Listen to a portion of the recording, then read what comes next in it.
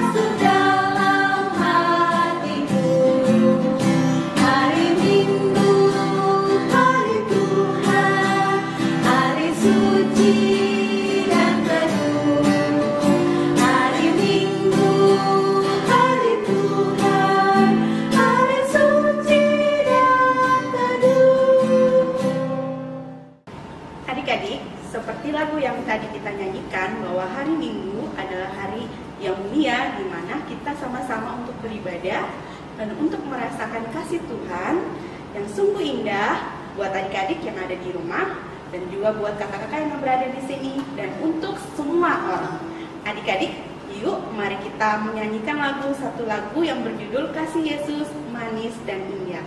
Musika.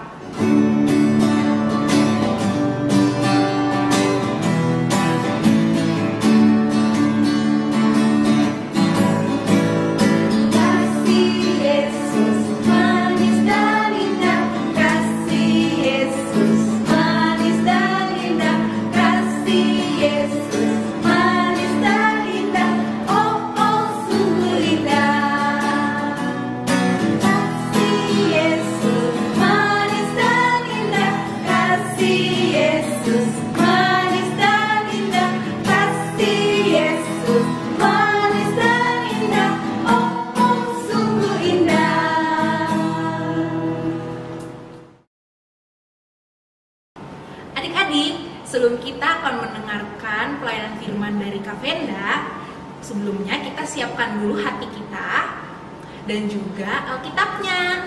Nah, adik-adik udah siapin Alkitab belum? Nah, bagus. Sekarang kita tanya, Kak Grace udah siapin Alkitab belum, Sudah Kak? kak, udah ada. Kak Grace gimana, Kak? Sudah. Oke, kita di sini juga udah siap adik-adik. Nah, tapi sebelum kita akan mendengarkan, kita akan menyanyikan dulu lagu Kitab Suci Hartaku. Musik, Kak.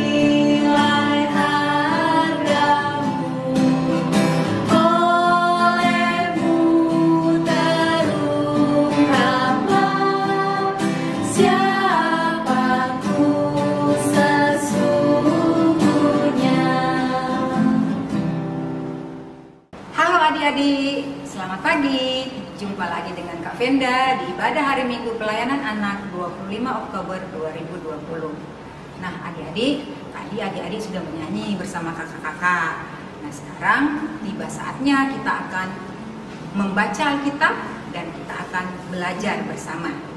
Nah adik-adik, pagi hari ini bacaan Alkitab terdapat di Ibrani pasal 11 ayat yang ke-6. Adik-adik pasti tahu Ibrani ada di mana karena minggu lalu bacaannya juga ada di Ibrani. Ibrani ada di Perjanjian Baru.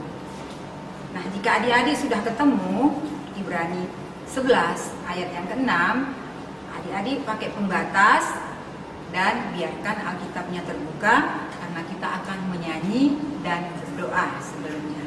Oke adik-adik kita nyanyi lagu Tanganku Ada Dua.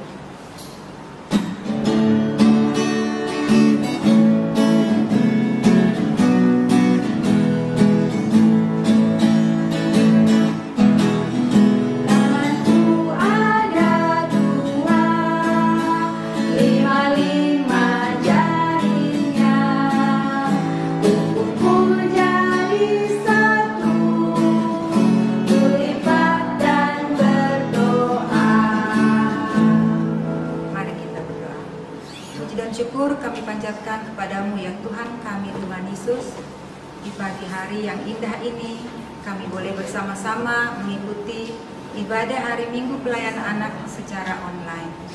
Tuhan Yesus, kami akan membaca Alkitab dan kami akan belajar bersama.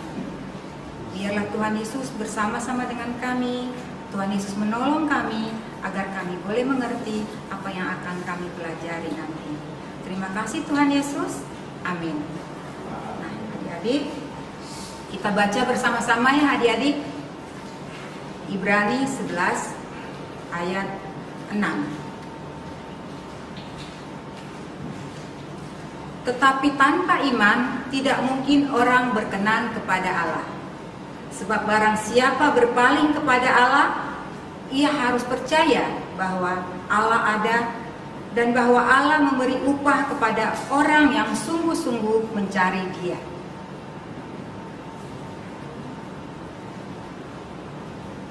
Adik-adik, sebelumnya apakah adik-adik sudah pernah mendengar kata iman? Apakah adik-adik tahu seperti apa iman itu? Apa sih iman? Adik-adik yang besar barangkali sudah tahu iman itu apa? Ya, iman itu sebenarnya adalah percaya, yakin. Itu adalah iman. Iman itu adalah sikap percaya kita yang ditujukan kepada Tuhan Yesus. Iman itu adalah sikap percaya kita akan tindakan Tuhan Yesus dalam kehidupan kita sehari-hari. Nah, itu iman. Percaya. Percaya kepada Tuhan Yesus, adik-adik, bukan saja kita hanya percaya Tuhan Yesus itu ada. Tapi kita percaya kepada Tuhan Yesus artinya kita mengandalkan Tuhan Yesus dalam kehidupan sehari-hari. Mengandalkan kehidupan Tuhan Yesus dalam kehidupan sehari-hari seperti apa? Artinya, apa pun yang kita lakukan, kita minta tolong Tuhan Yesus untuk menyertai. Kita juga mau belajar tentang firman Tuhan, kita mau mendengarkan firman Tuhan, dan terlebih kita mau mentaati firman Tuhan. Kita mau menuruti apa yang diperintahkan oleh Tuhan Yesus. Itu iman adik-adik. Nah, di musim pandemi ini, adik-adik, kita semua punya iman. Kita percaya bahwa kita akan melewati pandemi ini dengan baik, dengan pertolongan Tuhan. Oke. Kita sudah mengikuti anjuran pemerintah untuk tinggal di rumah, sekolah dari rumah, belajar dari rumah, baik dari adik-adik, kakak-kakak yang SMP, SMA, bahkan kuliah semuanya dari rumah. Kita sudah ikutin anjuran pemerintah untuk menjaga jarak, untuk menjaga kesehatan, untuk menjaga kebersihan, makan makanan yang bergizi, ada yang rajin berjemur untuk mendapatkan vitamin D dari matahari pagi-pagi. Nah, semua kita sudah lakukan. Kita juga sudah rajin berdoa minta pertolongan Tuhan Yesus. Tapi adik-adik masih ada yang suka ketakutan. Nah, bukan seperti itu iman adik-adik. Kalau kita beriman kepada Tuhan Yesus, kita sudah melakukan apa semua yang dianjurkan pemerintah, kita jangan takut lagi. Jangan takut untuk ketularan virus corona. Karena iman kita kepada Tuhan Yesus itu bukan iman yang main-main yang ada rasa takut, iman kita kepada Tuhan Yesus, kita benar-benar percaya kepada Tuhan Yesus. Nah, adik-adik, misalnya nih adik-adik punya cita-cita, kelak kalau dewasa ada yang kepengen jadi pendeta, ada yang kepengen jadi polisi, pilot, pramugari, dokter, mau jadi pengusaha atau pebisnis. Nah, dengan iman dan keyakinan di mana kita rajin belajar, rajin berdoa minta pertolongan Tuhan Yesus, kita harus benar-benar percaya, jangan ragu, jangan berpikir, apa iya ya, apa bisa ya saya besarnya nanti tercapai cita-cita saya. Nggak ada pikiran seperti itu adik-adik. Ketika adik-adik mengimani semuanya itu, ketika adik-adik percaya dan Yakin Tuhan Yesus akan beserta. Yakin dengan bantuan Tuhan Yesus saya bisa mencapai cita-cita saya. Saya bisa meraih cita-cita saya. Nah, itu yang dikatakan iman. Ya, percaya kepada Tuhan Yesus. Nah, adik-adik, di Alkitab kita akan belajar tentang teladan iman dari uh, salah satu tokoh Alkitab yang bernama Bapak Nuh. Nah, adik-adik, Bapak Nuh ini dalam kehidupan sehari-harinya dia itu taat akan perintah Allah. Bapak Nuh itu hidup bergaul dengan Allah. Nah, pada suatu waktu Tuhan Allah memerintahkan Bapak Nuh untuk membangun untuk membuat sebuah bahtera. Bahtera itu adik-adik tahu apa? Kapal laut, kapal yang besar gitu. Di dalamnya ada kamar-kamar. Nah, Tuhan memerintahkan Bapak Nuh untuk membangun bahtera uh, karena suatu saat nanti akan ada hujan yang besar dan akan ada banjir yang besar. Bapak Nuh menuruti perintah Tuhan. Bapak Nuh nggak tahu kapan akan ada hujan, kapan akan ada banjir yang besar, tapi dengan iman, dengan ketaatan kepada Tuhan, Bapak Nuh membuat bahtera sesuai yang diperintahkan Tuhan. Nah, ketika bahtera itu sudah selesai dan ketika hujan besar datang dan banjir yang besar sesuai perintah Tuhan Bapak Nuh dan istrinya dan ketiga anak laki-laki dan ketiga mantu perempuan semuanya masuk ke dalam bahtera juga dengan segala jenis hewan sesuai dengan perintah Tuhan hewannya berpasangan betina dan jantan semua masuk dalam bahtera dan ketika banjirnya surut Bapak Nuh dan keluarganya semuanya selamat. Nah itulah iman dan ketaatan Bapak Nuh. Nah adik-adik pada pagi hari ini kita sama-sama sudah belajar apa yang dimaksud dengan iman. Iman itu percaya atau yakin kepada Tuhan Yesus. Iman itu adalah mengandalkan Tuhan Yesus di dalam kehidupan kita sehari-hari. Iman itu adalah mentaati firman Tuhan, mengikuti perintah Tuhan sesuai dengan firman-Nya di dalam kehidupan kita sehari-hari. Demikian adik-adik, kakak berharap ketika dari adik-adik sekarang masih di PA, kelak sampai adik-adik sudah menjadi orang yang dewasa, ke mana pun adik-adik pergi, iman kita kepada Tuhan Yesus semakin bertumbuh dan semakin kuat. Dalam segala hal kita mengandalkan Tuhan Yesus dan dalam segala hal kita percaya kepada Tuhan Yesus, tidak ragu-ragu. Karena kalau ragu-ragu itu bukan iman. Kalau ragu-ragu terhadap Tuhan Yesus berarti itu tidak percaya. Demikian adik-adik. Nah adik-adik minggu ini adik-adik ada tugas membuat aktivitas. Aktivitasnya itu adalah e, buat video e, rekaman yang akan dikirimkan ke kakak-kakak. Isinya adalah apa cita-cita adik-adik dihubungkan dengan iman yang sudah kita pelajari tadi ya. Um, misalnya adik-adik ada yang kepengen jadi pendeta adik bisa bilang halo nama saya misalnya nama saya Venda ketika besar saya kepingin menjadi seorang pendeta. Nah yang harus saya lakukan adalah saya rajin belajar rajin berdoa dan saya yakin Tuhan Yesus pasti menolong saya sehingga cita-cita saya tercapai. Saya tidak ragu karena saya percaya, saya mengandalkan Tuhan Yesus. Seperti itulah ya adik-adik. Amin. Mazmur 19 ayat 8 Titah Tuhan itu tepat menyukakan hati Perintahnya Tuhan itu murni, membuat mata bercahaya. Selamat hari Minggu. Tuhan Yesus memberkati. Adik-adik, tadi kita sudah mendengarkan firman Tuhan. Nah, untuk meresponnya, kita akan menyanyikan lagu Yesus sayang padaku dalam bahasa Indonesia dan bahasa Inggris. Oke, kita mulai. Musik.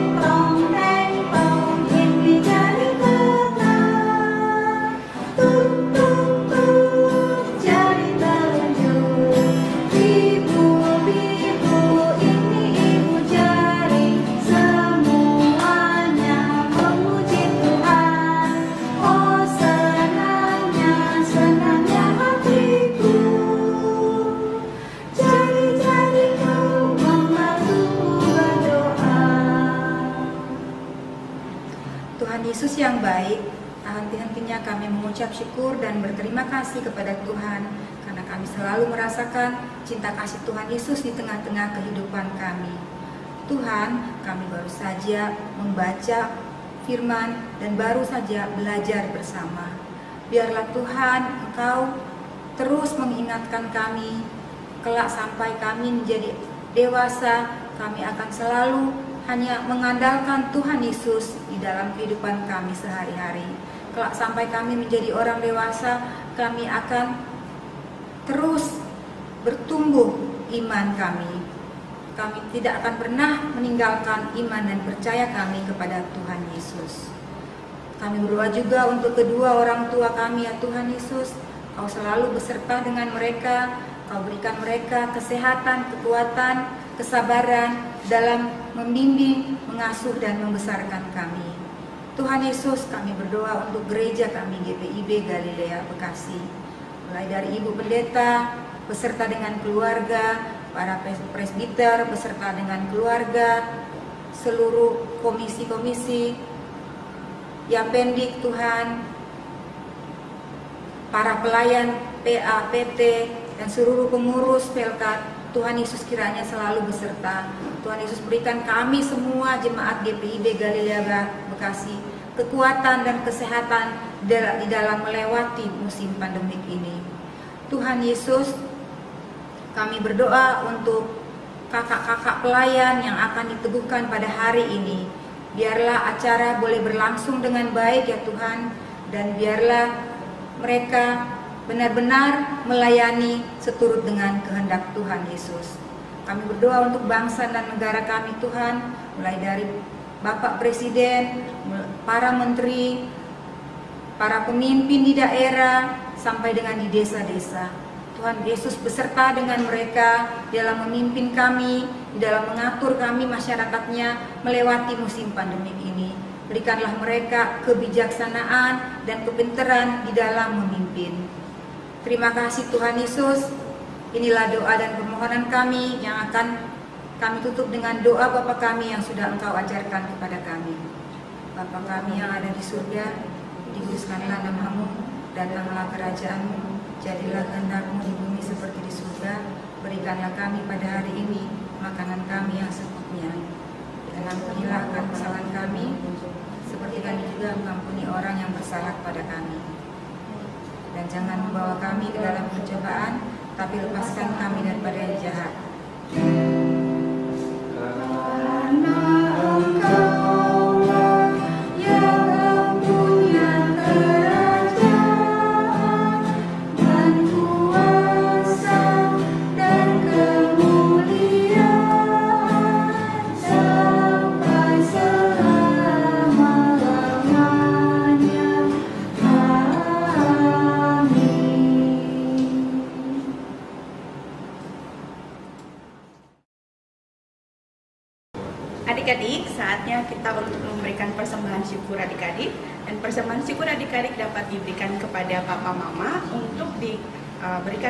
Gereja atau ditransfer ke rekening gereja.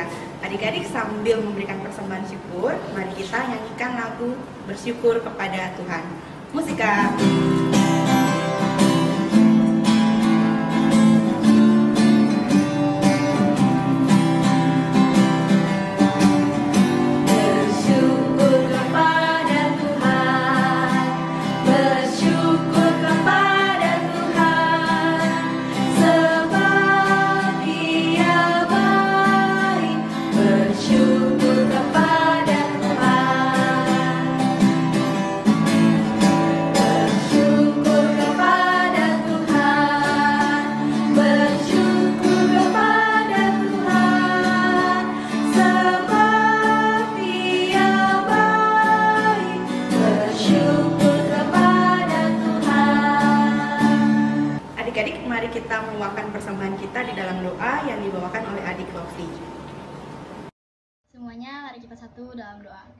Yesus yang baik, hari ini kami telah memberikan persembahan. Kiranya persembahan ini berguna bagi gereja dan pelayananmu.